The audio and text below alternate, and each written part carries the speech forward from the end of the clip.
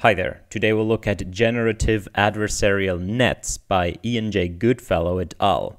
So this one is another installment in our series of historical papers that had great impact.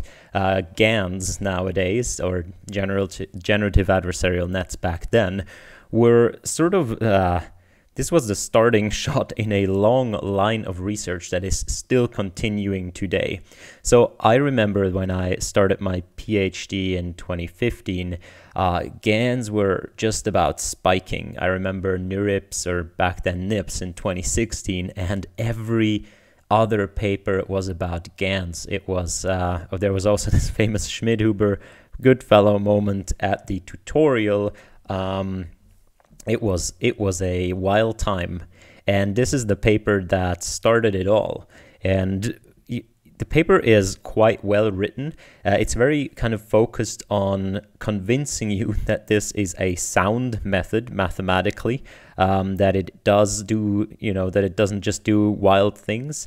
And also, it is already quite, has a lot of the, it has a lot of sort of the modern tricks for GANs already sort of built into it. So astounding how how much foresight there was already in this paper. But, but of course, GANs have come like a super long way since then. And today we'll just go through the paper and look at how it looked back then and what this paper was like. So yeah, join me in this. If you like it, please share it out. Let me know in the comments what you think of historic paper reviews. Um, this is not going to be like an, uh, uh, a beginner's tutorial in GANs. This is really going to be, we'll go through the paper. You'll see right here, the paper is from 2014. Um, so it would still be another like two years or so until GANs really take off uh, from this point on, but the introduction course, was really important. Okay, so abstract, here we go. We propose a new framework for estimating generative models via an adversarial process, in which we simultaneously train two models, a generative model G that captures the data distribution and a discriminative model D that estimates the probability that a sample came from the training data rather than G. Okay, this was sort of a new thing. Now, I know, I know, people disagree with this being a new thing, but this was a new thing.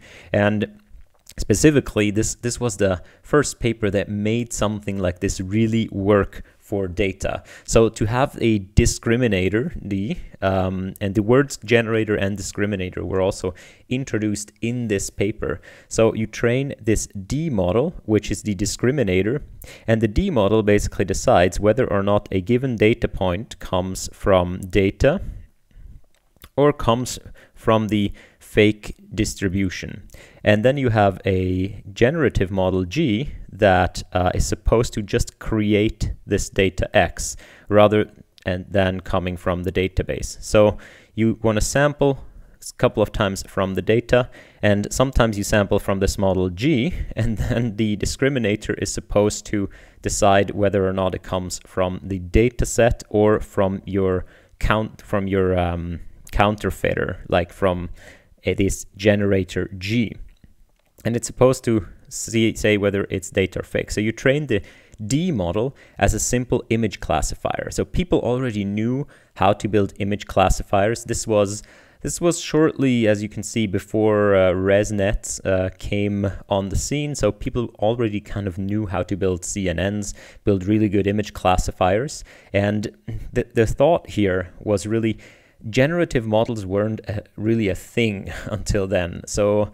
people were in language models, word2vec was kind of coming up, but they were would still be doing like RNNs using these word2vec vectors for generating language. In images, this like generative models weren't really much of a thing. So you you would do like compositional models or you would do autoencoders, which were just either really blurry or really really artifactory and there, there were also approaches like deep belief networks and so on, but they had their own problems. So there wasn't really a satisfactory way to do image generation that resulted in he really high quality um, images.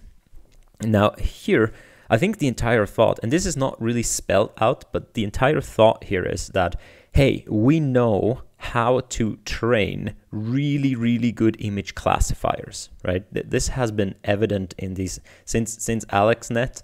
Uh, so for two years, this was evident how to build really good image classifiers.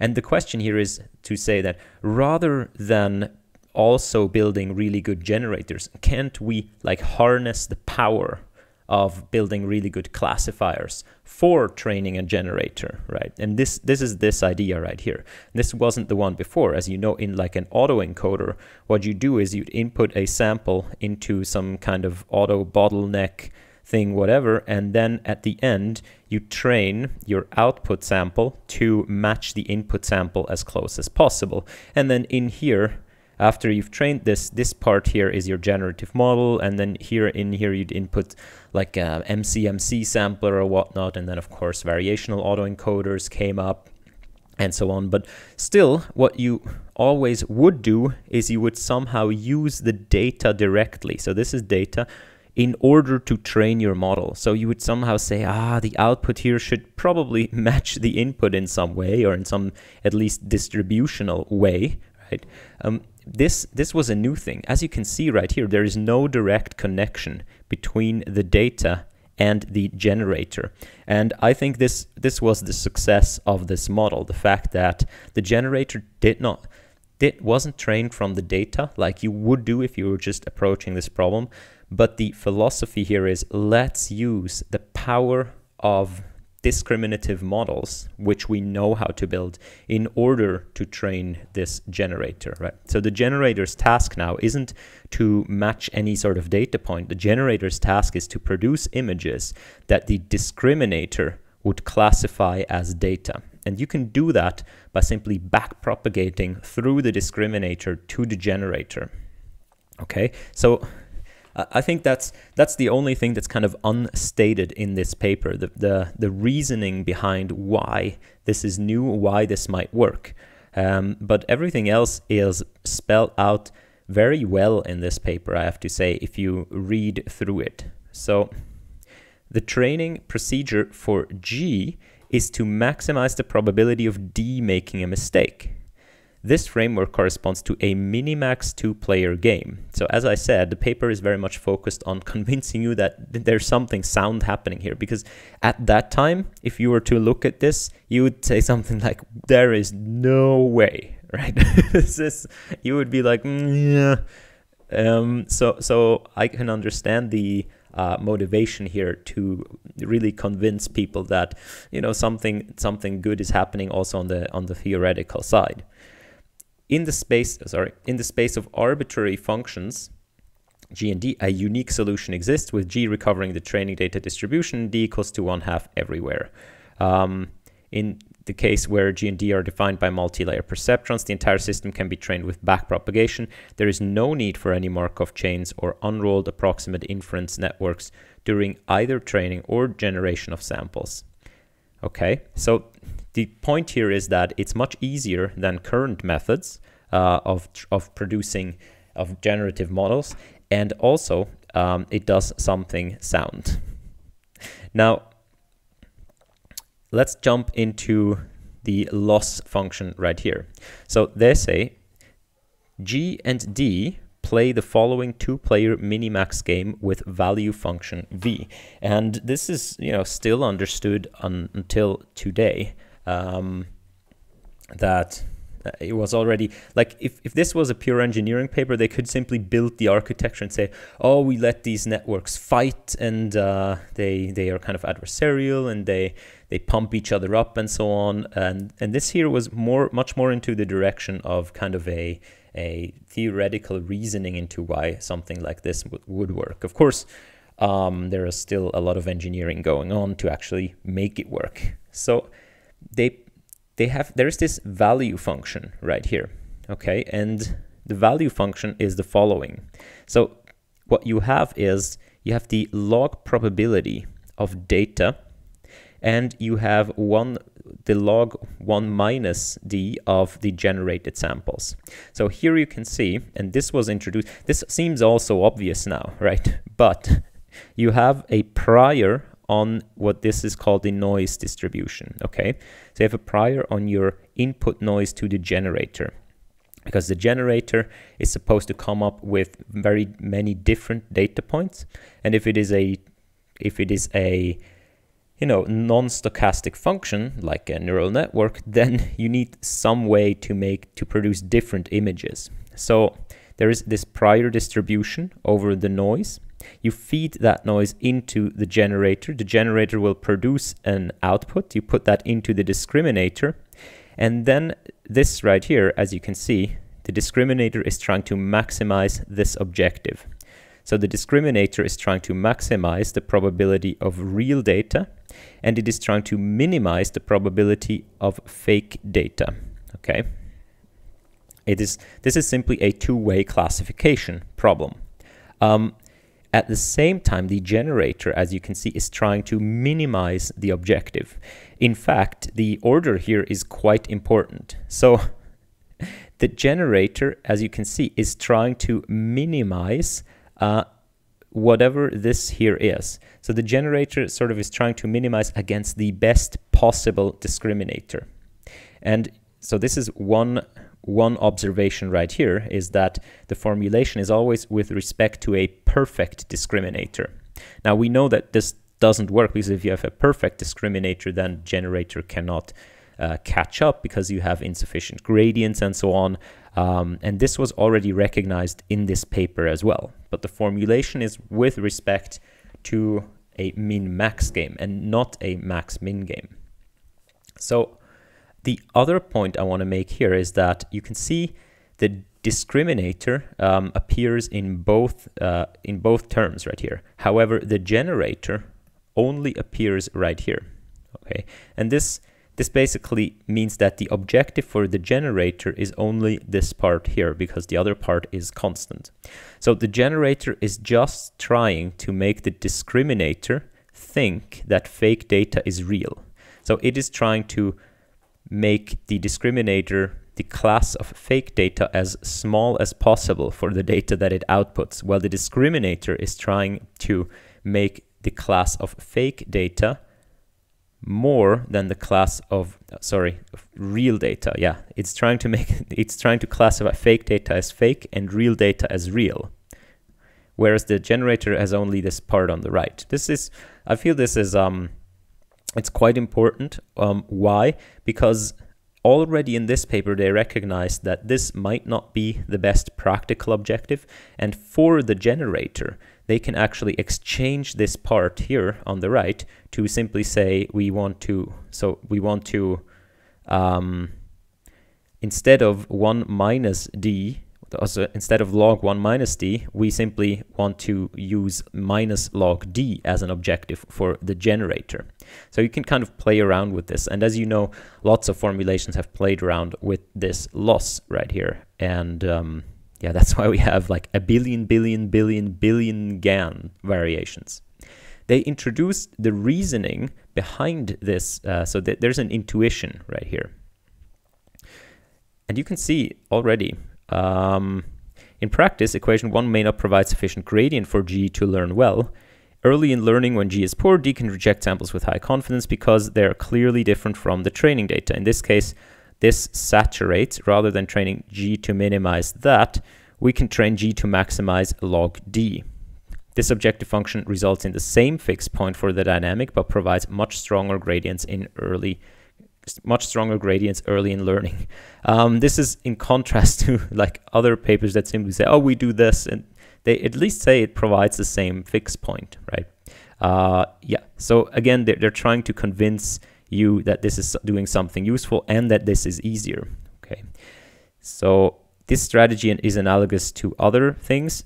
Training maintains samples um, from a Markov chain from one learning step in the next to order to avoid burning in the Markov chain in another loop of learning. Sorry, okay, this is from another paper. So their point here is that it's analogous to other papers that use these Markov chains where you always do one step in G and one step in D. We alternate between K steps of optimizing D and one step of optimizing G because you have this inner maximization over D and then the outer maximization, the outer minimization over G.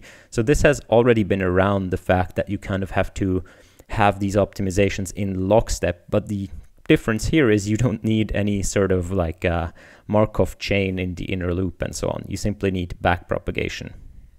So here's an illustration of how that might work. So at the beginning here, you have your Z space, and this is always sampled uniformly, as you can see right here. This is from a prior distribution. And through the mapping, so this here is from Z to X is G. So this is the mapping G you can see that the uniform distribution is now mapped to something non-uniform, which results in the green thing. So G is the green line, while as this is data, the black dots are data. And if you have a discriminator, the discriminator is supposed to tell you where there's data and where there's fake data. Now, so green here is fake.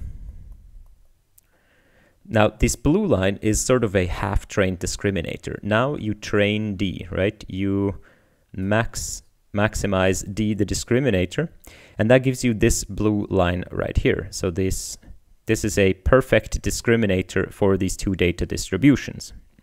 It tells you, uh, it's basically the, the ratio of green to black at each point.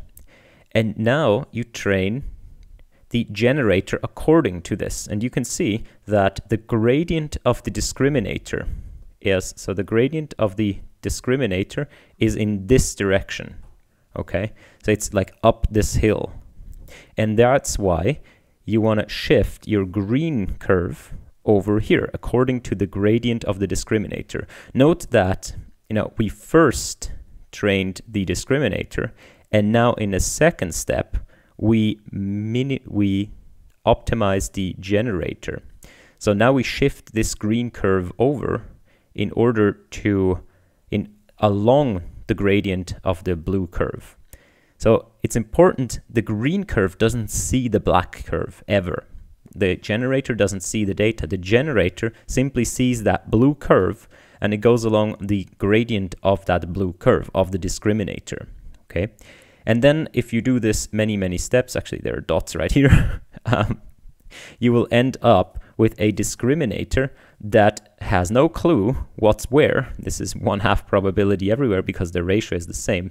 And you will end up with the probability of data equal to the probability of the output generated samples. And this can happen if the generator simply remembers the training data, but there are a number of things that counter that. For example, the generator is continuous while the training data is, of course, uh, uh, discrete. So there is this in-between things right here um, where there is no training data.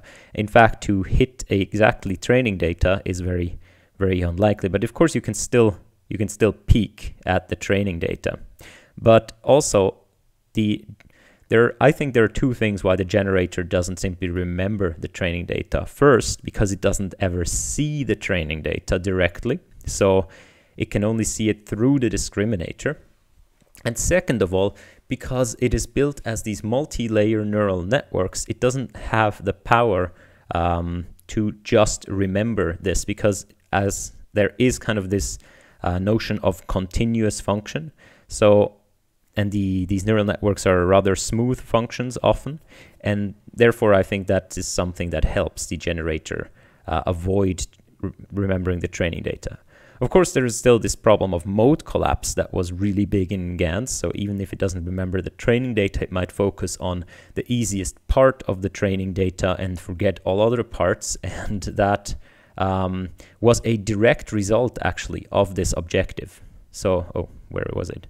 So this objective directly led to um, mode collapse in some in some form because it penalizes different errors differently. So of course people have come up with ways to to solve that.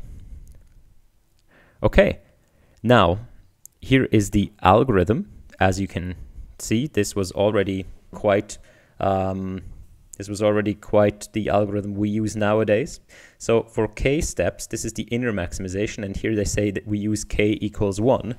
Uh, so all this is this is pretty much what we use today. The early days of GAN were still like, oh, how much do I need to discriminator per generator and so on. nowadays everyone's just using one step here, one step there, or even training it jointly um, works in some cases. So you want to sample a mini batch of noise samples, and then you want to sample a mini batch of M examples from training data generation. Um, so from this data, you want to update the discriminator by ascending its stochastic gradient, and this is simply the gradient of the objective. And then after those k steps, you're going to sample another mini batch of noise samples and update the generator by descending its stochastic gradient. And you can see right here already there is this uh, reduced objective that doesn't include this because it falls away in the gradient, right? Um, and they say the gradient-based updates can use any standard learning-based rule. We use momentum in our experiments. Uh, very cool. So I believe they already also say that um, it is somewhere here. It's pretty. It's pretty fun that they say oh, in our generator, we only input noise at the lowest layer. So this is also something that um, if you think that G here is a multi-layer network, so it's kind of a multi-layer network that outputs an image, right? And if you ask yourself, if I have noise, how would I input that into there? It's so clear nowadays that, you know, we just put it here. But this was not clear at all. This was kind of an invention of this paper because you could, you know, put it pretty much at all layers. You could distribute it and so on. You could add some right here. Um, it, it was this paper that already established the fact that we input noise kind of as a vector at the very beginning and then just let the neural network produce the image from that. So uh, yeah, pretty pretty cool. It's pretty sneaky how many things are hidden in these initial papers. How many decisions that are made there then are just taken over and you know, this one I guess turned out to be fairly fairly good.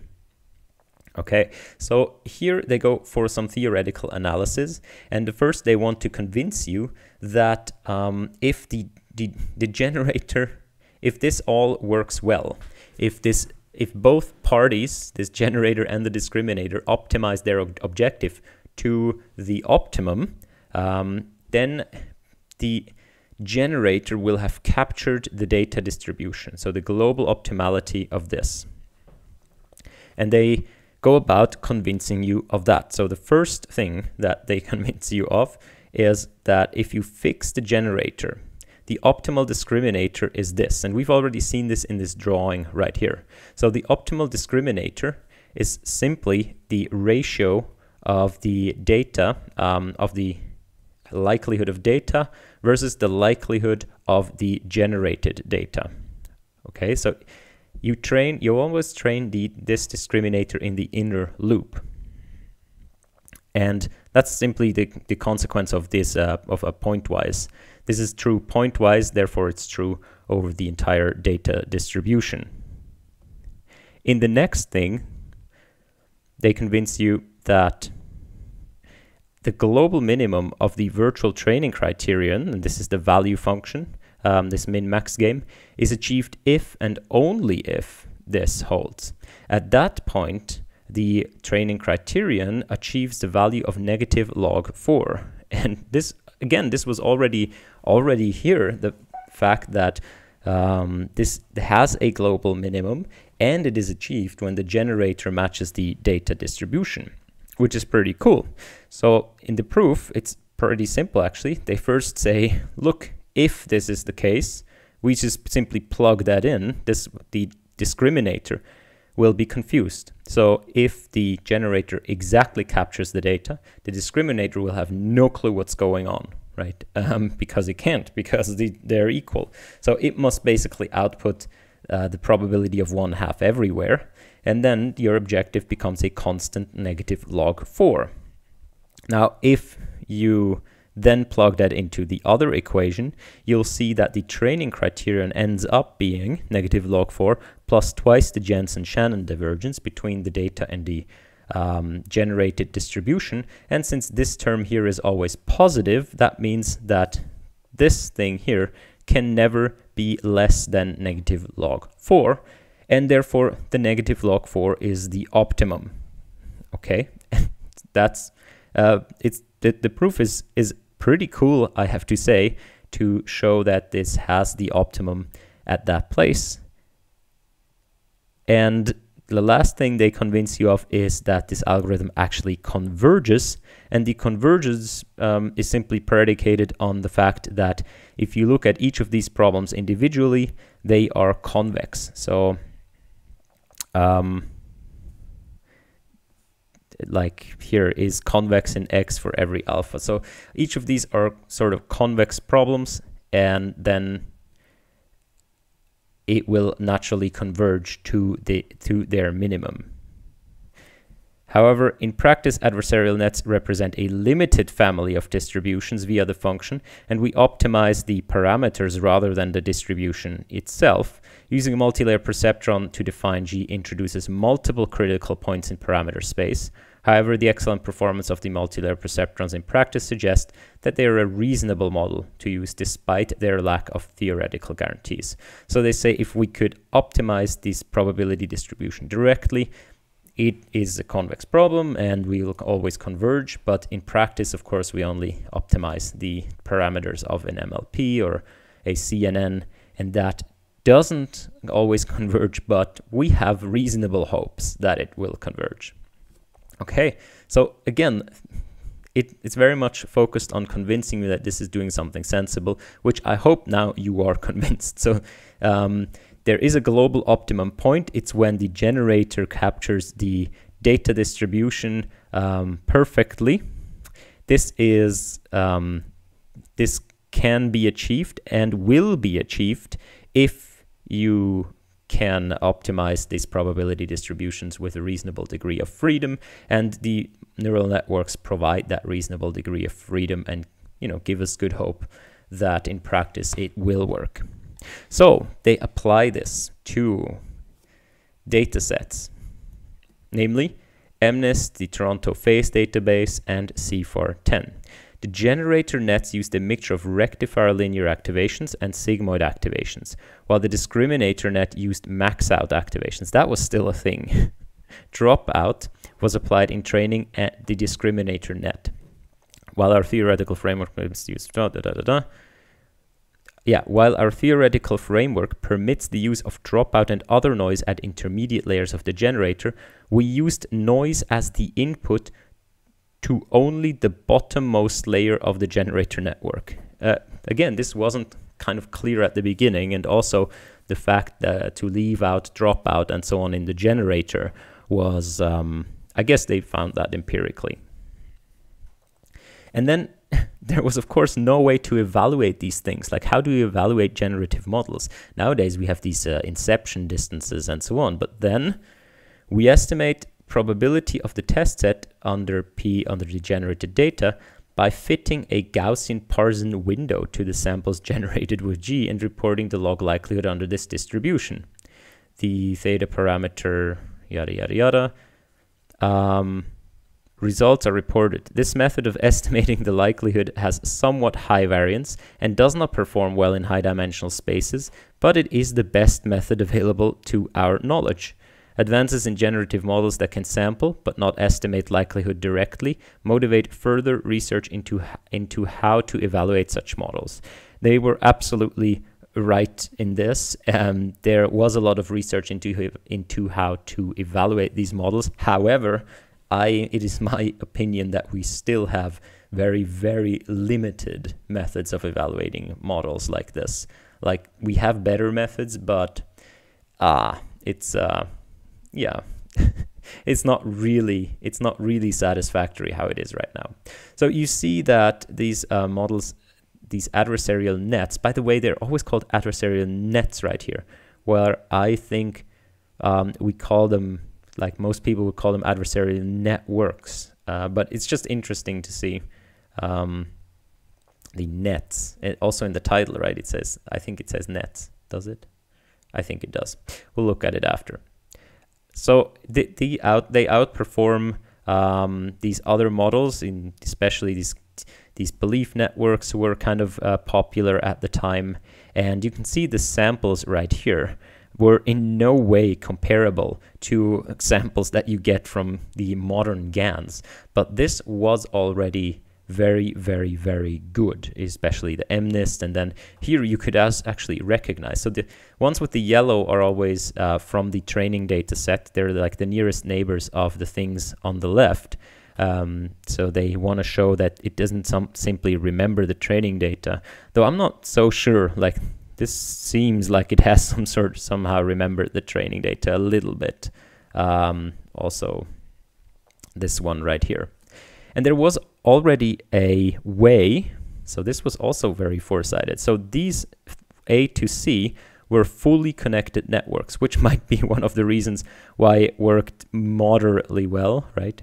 Um, but the last one was a convolutional discriminator and a deconvolutional generator. So already using kind of deconvolutions that are used everywhere today. So they are used in, in GANs, in whatnot, we, VAEs, to upsample anything. If you want to do you know, pixel-wise classification, you use deconvolutions. Um, so again, um, this this paper sort of introduced a lot of things that later that we still use in GANs today. Now I'm sure deconvolutions weren't invented here, but you know we still we still use them. Um, so legit, they were the first GAN paper to use deconvolutions. Haha. Um, yeah. They also say we make no claim that these samples are better than samples generated by existing methods. We believe that these samples are at least competitive with the better generative models in the literature and highlight the potential of the adversarial framework. Today, this paper would be so rejected. Like, wait, you're not better? Get out of here. you can't claim, you can't claim this anymore. no. doesn't work anymore. I'm sorry. Yours has always has to be better than everything else nowadays. Otherwise, it's a it's a it's a weak rejecter. Experimental evidence uh, doesn't doesn't convince me. Um, you can't simply say something's cool. Also, already introduced in this paper, digits obtained by linearly interpolating between coordinates in z space of the full model. Like this thing here, every single GAN paper had interpolations uh, in the like in this in the GAN spike, and it came all came from here. So already this is just like this is a like every GAN paper then had like rows of these like of these interpolations. Um, I should know I've written a paper on it and um, introduced right here. Who knows if they hadn't done this? Um, yeah, I guess it's it's kind of an obvious thing, but still, uh, you know, very, very cool uh, to see that this was already done. And here, GANs compared to other different methods like deep directed graphical models, generative autoencoders, and um, compared in very many ways. So this is a actually a good reference if you want to learn about these different kinds of models. And they make the claim here that there are advantages and disadvantages. So disadvantages mainly come with uh, training these things because you have to train them in lockstep. Um, but then also the disadvantage is that you don't have an explicit representation. So there, there is no explicit representation of this probability distribution. You never build the data distribution. You can only sample from it. However, the advantages are that Markov chains are never needed, only backprop is used to obtain gradients, no inference is needed during learning, and a wide variety of functions can be incorporated into the model. This, you know, I I haven't hadn't read this paper in a while, and uh, I have to, I just have to laugh nowadays because you know uh, now all the people are trying to reintroduce like there are as many papers like reintroducing markov chains into gans being like oh gans would be so much better if they had an mcmc sampler somewhere. You're like no this it, the point was to get rid of it. And like no inference is needed during learning um, which you know for some of these other models you actually need an inference during training, right? So, so this is very, very costly. and how many models are there nowadays where it's like, oh, if we just do this um, inference during training, yeah. So it it's quite it's quite funny to see people kind of um, trying to to just combine everything with everything, and in the process, sort of reverse reverse whatever these me methods were originally meant to get rid of. Now, I'm not saying anything against these methods, but it's just kind of funny. Um, yeah, so they had a lot of conclusions and future work. Um, they already say, you know, conditional GANs are very easy to do straightforward. Learned approximate inference can be performed by training an auxiliary network to predict z given x, and this, of course, as you know, has come you know has come to fruit very often. Early papers already introduced uh, the the so if you have the g network producing some producing an x, and then the d network discriminating, that you would also have like a encoder right here to produce back the Z noise to give you the latent encoding, sort of like a variational autoencoder, but not really. It's more like a reverse generator. Um, you know this models nowadays are BigBiGAN and things like this that employ this exact thing that was sort of predicted right here. Um, of course, there are much earlier models also using this. As long as I can remember, people have attempted to bring encoders into GANs. Um, you, they, they have a, a bunch of other things like semi-supervised learning. You can use this to do to do get more data for a classifier, which is also done. So a lot of things here already foresight in this papers is pretty cool. And the coolest thing, look at that. Savages, Goodfellow, not even using the full eight pages, just you know dropping this on the world. Um, absolutely cool. Uh, mad respect. So um, yeah, this was kind of mm, my take on general. Yeah, it is generative adversarial nets, and yeah, you, please tell me if you like historic uh, paper overviews. It's more kind of a rant than it really is a paper explanation, but I do enjoy going through these papers and kind of looking at them in hindsight. All right, that was it from me. I uh, wish you a nice day. Bye bye.